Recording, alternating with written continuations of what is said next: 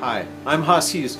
Welcome to El Camino Baptist Church. We want to invite you, if you've never been before, we'd love to invite you to come join us on a Sunday, be a part of our family, see what we're about.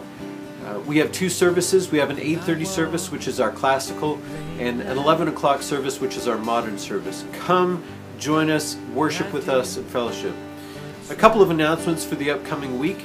Uh, this Sunday is our Mission Sunday. We're always so excited to have our missionaries come uh, join us and tell us about the, the wonderful and awesome things that God is doing in their uh, fields, uh, seeing people's lives changed uh, for His glory. Uh, also, next week, of course, Thursday is 4th of July, so our office will be closed.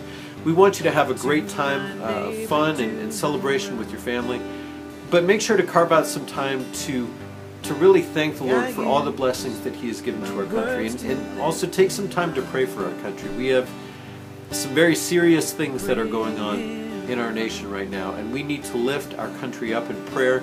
We need to lift our leadership up in prayer.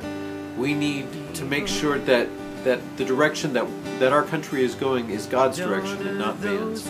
So really, really be praying for for God to do a mighty work in this country, and of course that begins with us. Have a wonderful week God bless.